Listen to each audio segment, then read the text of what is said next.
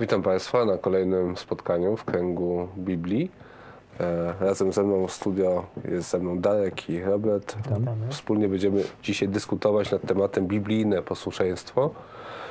E, I mam takie pytanie, jakie były bezpośrednie przyczyny pierwszego przestępstwa ludzkiego w Edenie? Czyli mamy sytuację Adam i Ewa i coś tam się wydarzyło. Co takiego się wydarzyło?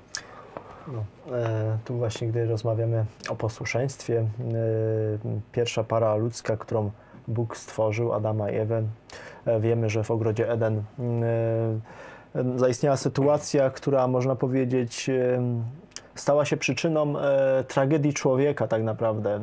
Człowiek żył w harmonii z Bogiem, żył w bezpieczeństwie i w ładzie, w porządku. Niczego człowiekowi nie brakowało. Mm, Bóg tylko prosił, by człowiek był posłuszny, e, by zaufali Bogu Adam z Ewą e, i e, słuchali to, co Bóg ma do powiedzenia, by przestrzegali Jego woli. No ale niestety wiemy, że rzeczywiście tak się nie stało, że człowiek zgrzeszył, upadł. I ta tragedia, która tam się rozpoczęła, no, skutkuje po dzień dzisiejszy e, tym. e, Dlatego myślę, że warto dzisiaj rozmawiać na ten temat, e, by być posłusznym Bogu, by e, konsekwencje nieposłuszeństwa nie spadały na człowieka dalej. Ja chciałbym przytoczyć fragmenty Słowa Bożego, które właśnie bezpośrednio mówią o tych wydarzeniach. Najpierw przeczytam fragment z drugiego rozdziału.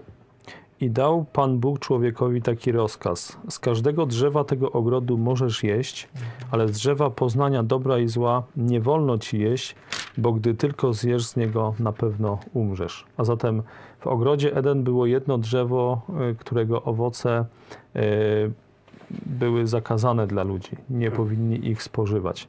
Niestety za namową szatana y, Ewa zerwała ten owoc i jest to zapisane y, w szóstym wersecie trzeciego rozdziału. A gdy kobieta zobaczyła, że drzewo to ma owoce dobre do jedzenia i że były miłe dla oczu i godne pożądania dla zdobycia mądrości, zerwała z niego owoc i jadła. Dała też mężowi swemu, który był z nią i on też jadł. Co jest ciekawe, opis tego wydarzenia nie sugeruje y, właściwie y, z, z, nie traktuje tego opisu jako, y, przynajmniej ta historia nie zaczyna się jako wielka tragedia. Niestety następstwa tego grzechu, tego nieposłuszeństwa Bożemu Słowu i Bogu niestety były tragiczne. Bóg wyraźnie powiedział: Jeśli spożyjecie z tego y, drzewa, na pewno umrzecie. I prawda jest taka, że od momentu, kiedy człowiek złamał prawo, złamał przepis dany przez Boga, y, grzech i śmierć y, weszła na świat i towarzyszy do tej pory człowiekowi. Niestety to jest cechą nas, ludzi, że tam, gdzie są zakazy, próbujemy je ominąć. Zastanawiamy się, czy one rzeczywiście są takie istotne, czy one rzeczywiście są aż tak, następstwa tych zakazów są aż tak niebezpieczne. Niestety później często okazuje się, że nawet niewinne przekroczenie prawa skutkuje poważnymi konsekwencjami. Tak było właśnie w Edenie, tak było w przypadku pierwszych ludzi. Abraham był wielkim mężem Bożym, nie posiadał dzieci. Bóg mu dał takie, taką pewną obietnicę, że twoje, z Twojego pokolenia będzie wielki naród. Spójrz na gwiazdy, jak są liczne, tak będzie wyglądał, wyglądało Twoje pokolenie. Spójrz na piasek, jak jest liczny, tak będzie wyglądało Twoje pokolenie. Jaki warunek Bóg dał Abrahamowi, by ta obietnica mogła się spełnić? Myślę, że warto przeczytać ten fragment Słowa Bożego. On jest zapisany w pierwszej Księdze Mojżeszowej w 18 rozdziale i 19 werset. Może już 18 przeczytajmy. Wszak z Abrahama na pewno wywodzić się będzie wielki i potężny naród i przez niego będą błogosławione wszystkie narody ziemi. Wybrałem go bowiem, aby nakazał synom swoim i domowi swemu po sobie strzec drogi Pana, aby zachowywali sprawiedliwość i prawo, tak iżby Pan mógł wypełnić względem Abrahama to, co o nim powiedział. Fragment mówi nam o tym, że rzeczywiście Bóg wybrał Abrahama, że Bóg e, zawarł z nim przymierze, że Bóg e, uczynił go potężnym narodem. I to mu powiedział Bóg Abrahamowi, że uczyni z niego tak wielki naród jak piasek morski. Ale popatrzcie, co ten werset 19 mówi. Pan, tak, iżby Pan mógł wypełnić względem Abrahama to, co o nim powiedział by zachowywali przykazania. E, Bóg tego pragnął, e, w ogóle zawierając e, przymierze z Abrahamem i Bożym, Bożym pragnieniem było i przykazaniem, by dalsze pokolenia by mogły się rozmnażać, by były potężnym narodem, by przestrzegały przykazań Bożych. Myślę, że Słowo Boże w ogóle, popatrzcie, mówi o jednej ważnej rzeczy. Ono się przewija przez Słowo Boże, no, gdy czytamy ustawicznie.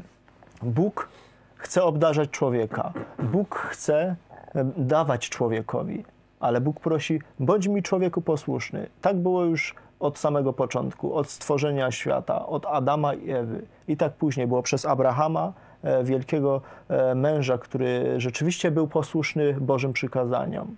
I Bóg chce, żeby człowiek zawsze był przykazaniem i chce go obdarowywać. E, Słowo Boże bardzo wyraźnie podkreśla, że Bóg jest istotą wszechmogącą, wszechwiedzącą, e, mającą, e, będącą źródłem mądrości. I tylko te fakty powinny przekonać nas jako ludzi, którzy nie mamy ani pełnego poznania, ani nie mamy wszechmocy. Nasze e, spojrzenie, nasze, e, nasze zmysły mają ograniczone, ograniczone pole działania.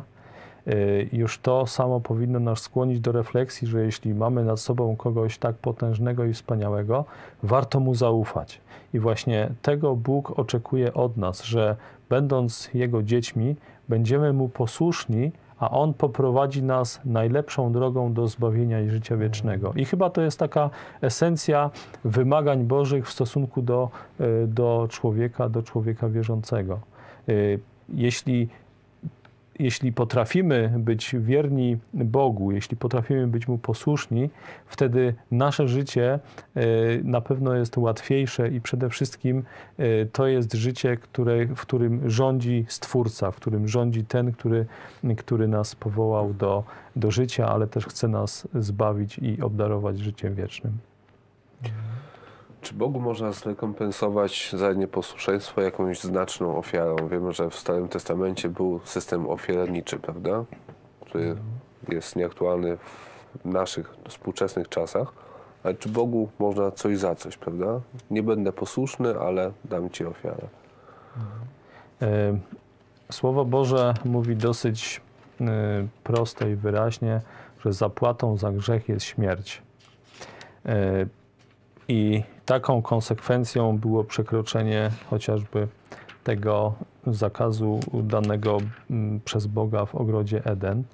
Oczywiście mm, my dzisiaj podchodzimy do tych zagadnień troszeczkę inaczej, bo wiemy, że funkcjonując w rodzinie, w społeczeństwie, jest coś takiego jak y, prawo, jest coś takiego jak złamanie prawa i zadośćuczynienie, prawda? Czyli jeśli e, zapłacimy określoną cenę albo e, no, wykonamy jakąś e, karę, odbędziemy jakąś karę, to wtedy jesteśmy uwolnieni od naszej winy.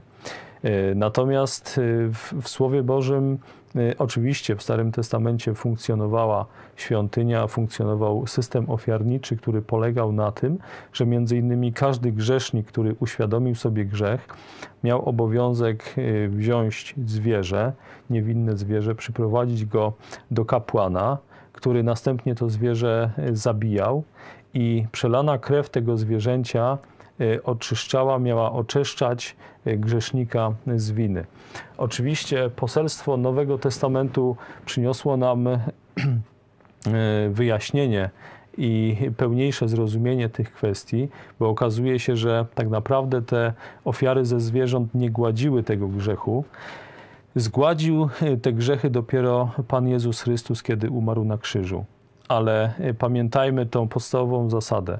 Zapłatą za grzech jest śmierć. Jeśli chcielibyśmy zapłacić za nasze złe uczynki, musielibyśmy zginąć. A zatem nie ma takiej rzeczy, którą moglibyśmy dać Bogu e, w zamian za e, właśnie ofiar, za odpuszczenie grzechów. Prosta, prosta myśl. Jeśli do Boga należy cały świat, jeśli do Niego wszystko należy, to co my jako ludzie możemy Mu dać, prawda? Tym bardziej, jeśli chodzi o y, złamanie prawa, jeśli tak naprawdę nic przed nim nie posiadamy, musielibyśmy zapłacić swoim życiem. A zatem nie ma takiej rzeczy materialnej, nie ma takiego zadośćuczynienia, y, rozważając to w kategoriach współczesnych, które mogłoby załatwić problem naszego grzechu. Może go załatwić tylko ten, który y, przelał swoją niewinną krew, to znaczy Pan Jezus Chrystus. Słowo Boże mówi, y, że posłuszeństwo jest lepsze niż ofiary. Mhm. E, chcę powiedzieć, że y, w Izajaszu w pierwszym rozdziale mamy ciekawy, ciekawy jest to fragment, i on mówi, e, Bóg, Izajasz opisując ten fragment, słowa, które Bóg do niego powiedział, mówi do narodu izraelskiego, E, obrzydły mi wasze sabaty, obrzydły mi wasze uroczystości, e, różne, różne święta, e, zwoływania uroczystych świąt. Obrzydło mi to wszystko, bo dlaczego? Pełne jest krwi, pełne jest przestępstwa, zła. Bóg mówi nawet więcej, nie wysłucham waszych modlitw, wyciągacie swoje ręce, ale choćbyście pomnożyli wasze modlitwy, nie wysłucham. Dlatego że e, popatrzcie, 17 werset w tym pierwszym e, rozdziale Księgi Izajasza mówi tak: Uczcie się dobrze czynić, przestrzegajcie prawa, brońcie pokrzywdzonego, wymierzajcie sprawiedliwość sierocie, wstawiajcie się za wdową. Chcę powiedzieć, jak było kiedyś z ofiarami, że e, wielu być może szukało zadośćuczynienia właśnie takiego. Nie będę przestrzegał tego, co więcej, nie będę szanował bliźniego, E, ale jak przyjdę tam ofiarę złożę, no to będzie wszystko w porządku. To wszystko naprawię. Bóg mówi wyraźnie nie. Obrzydło mi to, jeśli w taki sposób postępujecie. Myślę, że warto się zastanowić też i dzisiaj, e, bo słowa, e, słowa, które przeczytałem z Pisma Świętego, one są ponadczasowe. One mają coś nam wnieść, coś nam pokazać. To nie tylko było tak kiedyś, ale Słowo Boże apeluje do nas dzisiaj E, żebyśmy o tym pamiętali, że byśmy nie przychodzili e, jakieś uroczyste święta, zwoływali nabożeństwa i powiedzieliśmy, wszystko załatwione, ja Boga przekupiłem tym. Bóg mówi, przestrzegaj moich przykazań, bądź mi posłuszny, dobrze czyń, szanuj sierotę, wdowę, a wtedy e, Twoje modlitwy nie będą miały przeszkód przede mną. A więc to, co dzisiaj mówimy, Bóg e, tak naprawdę bardzo chce od nas posłuszeństwa. A w jaki sposób można nauczyć się posłuszeństwa? Czy to jest jakaś taka, taki proces, który powinien, któremu powinien poddać się chrześcijanin? Na pewno jest to, nie jest to łatwa e, sprawa i chyba e, należałoby, ucząc się posłuszeństwa, mieć dobre przykłady. Ja chciałbym przytoczyć fragment listu apostoła Pawła do Filipian, który mówi o Jezusie Chrystusie. Takiego bądźcie względem siebie usposobienia, jakie było w Chrystusie Jezusie, który chociaż był w postaci Bożej, nie upierał się zachłannie przy tym, aby być równym Bogu, lecz wyparł się samego siebie, przyjął postać sługi i stał się podobny ludziom, a okazawszy się z postawy człowiekiem, uniżył samego siebie i był posłuszny aż do śmierci, i to do śmierci krzyżowej. E, służba, uniżenie, to są takie cechy, które bardzo pomagają e, poddać się woli Bożej. Zwróćcie uwagę, że zawsze, kiedy mamy do czynienia z nieposłuszeństwem albo ze złamaniem prawa, tam najpierw zachodzi proces, kiedy człowiek uznaje, że on wie lepiej, że on y, po prostu postanawia zrobić coś wbrew, dlatego że on ma do tego prawo.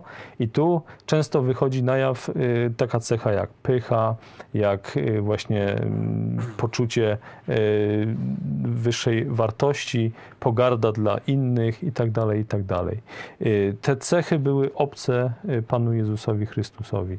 On, mimo że był w postaci Bożej, jak czytamy, nie upierał się przy tym zachłannie, aby być równym Bogu. Co więcej, przyjął postać sługi, stał się człowiekiem i to też nie przyszedł na świat jako król, y, nie chodził we wspaniałych szatach, y, nie miał swojego dworu, swojego wielkiego państwa, ale patrząc na niego y, z materialnego punktu widzenia, był raczej jednym z wielu ludzi, którzy borykali się z codziennymi problemami, mimo że jego pozycja mogła być zupełnie inna ale właśnie on się tego wyrzekł, aby pokazać nam, ludziom, na czym polega służba, na czym polega yy, właśnie yy, poświęcenie i na czym polega posłuszeństwo również, bo trzeba wyraźnie stwierdzić, że Pan Jezus był posłuszny Bożemu prawu od początku do końca. On był człowiekiem, który grzechu nie popełnił, dlatego miał y, prawo i, i miał y, możliwość zapłacić za nasze grzechy. I patrząc na Jezusa Chrystusa, myślę, w tak najlepiej zobaczymy w Jego postaci posłuszeństwo Ojcu. Posłuszeństwo y, inspirowane miłością, miłością do Ojca i miłością do, y, do człowieka. I zwróćcie uwagę, jeżeli nasze posłuszeństwo będzie wymuszone na przykład strachem przed karą, to wtedy to posłuszeństwo będzie, można powiedzieć, niedoskonałe. Ale jeśli jesteśmy, jesteśmy posłuszni, dlatego że ufamy naszemu Bogu, ufamy Jego prawu i uznajemy je za dobre, no to wtedy jest nam o wiele łatwiej być posłusznym. Co więcej, nasze posłuszeństwo jakby jest y, naturalne, nie jest wymuszone, nie jest jakoś wyuczone czy wypracowane, ono po prostu wy, wynika, wypływa z naszego, y, z naszego wnętrza, z naszego serca. E, z pewnością e, to, co tu Robert powiedział, e, i ten fragment jest niesamowity z, właśnie z listu do Filipian z drugiego rozdziału. Jezus Chrystus w ogóle jest naszym największym wzorem posłuszeństwa swojemu Ojcu. I On nas uczy, czytając Słowo Boże, czytając Ewangelię, listy, widzimy i dostrzegamy rzeczywiście, jak jakie było posłuszeństwo Jezusa Chrystusa i to jest nas wzór do naśladowania. Po pierwsze, myślę, y, Robert już wiele powiedział, e, być może pewne rzeczy powtórzę, pewne rzeczy może dodam. Myślę, że jedna rzecz taka jest ważna, to bojaźń. Nie, że się boimy Boga, bojaźń to szacunek. Musimy wiedzieć, Początkiem mądrości jest bojaźń e, pańska, Słowo Boże mówi. E, to nas uczy e, właściwego postępowania. Jeśli my mamy szacunek do Boga, wiemy kim On jest, patrzymy i poznajemy Boga, budujemy relacje z Nim. Wtedy buduje się posłuszeństwo, gdy dostrzegamy, co Bóg dla nas uczynił w Jezusie Chrystusie, gdy to widzimy, gdy te wszystkie elementy dostrzegamy, miłość Boga, Jego sprawiedliwość, czystość, świętość, uczymy się przez to posłuszeństwa. Widzimy, że rzeczywiście to jest wspaniałe, że Bóg dla nas tak wiele zrobił i gdy przez ten pryzmat patrzymy na zbawienie, na Jezusa Chrystusa, na Jego krzyż, E, to gdy e, czasami e, jesteśmy ludźmi upadłymi i zdarzy się nam grzech, ale gdy wspominamy znów na ofiarę Jezusa Chrystusa, nas to boli. Idziemy i prosimy o wybaczenie i chcemy być Bogu dalej posłuszni. Myślę, są to bardzo ważne elementy, dlatego myślę, że one prowadzą nas do posłuszeństwa wzrost duchowy jest e, tu bardzo istotny w naszym życiu. Codzienne, e, codzienna relacja z Bogiem, modlitwa, społeczność, czytanie Słowa Bożego uczy nas posłuszeństwa. Okazuje się, że e, posłuszeństwo jest procesem, procesem, który powinien przechodzić każdy chrześcijanin i tak jak w ogrodzie Eden Adam i Ewa udało im się no niestety upaść, to wydaje mi się, że dobrze byłoby, gdybyśmy wszyscy dbali o nasze posłuszeństwo i gdybyśmy starali się właśnie wprowadzić to w nasze życie. Tego chciałbym Państwu życzyć. Dziękuję moim rozmówcom. Dziękuję. Do widzenia. Oddaję Tobie każdy nowy dzień.